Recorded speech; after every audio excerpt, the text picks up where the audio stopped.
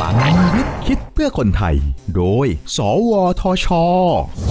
ตอนไข่ออกแบบได้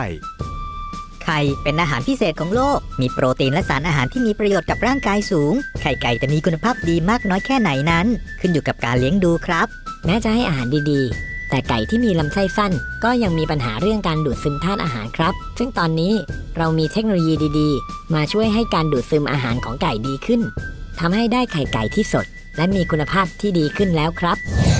นักวิจัย สวทช ออกแบบเทคโนโลยีการนำพา Unique Target Delivery System พร้อมนำนวัตกรรมคีเลชันแร่ธาตุมาช่วยพัฒนาและนำพาสารออกฤทธิ์ไปสู่ระบบการทำงานของลำไส้สัตว์ปีกโดยตรง ช่วยให้การย่อยและการดูดซึมธาตุอาหารของสัตว์ปีกมีประสิทธิภาพดีขึ้น นักวิจัยใช้เทคโนโลยี Nano Encapsulation ปรับปรุงน้ำมันโหระพา และน้ำมันออริกาโนให้มีกลิ่นลดลง ไม่มีกลิ่นฉุน เมื่อผสมลงในน้ำให้ไก่กิน ช่วยทำให้ไก่กินอาหารได้ง่ายขึ้น ส่งผลให้ผลผลิตไข่ไก่มีความสดมากกว่า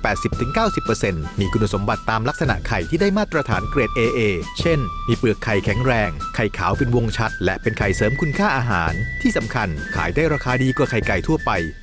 20-40%ช่วยเพิ่มรายได้ให้กับเกษตรกรอีกด้วย วิจัยและพัฒนาโดยนาโนเทค สวทชพัฒนาคนด้วยวิทยาศาสตร์ พัฒนาชาติด้วยเทคโนโลยี สอบถามรายละเอียดเพิ่มเติมได้ที่ สวทช 02 564 8000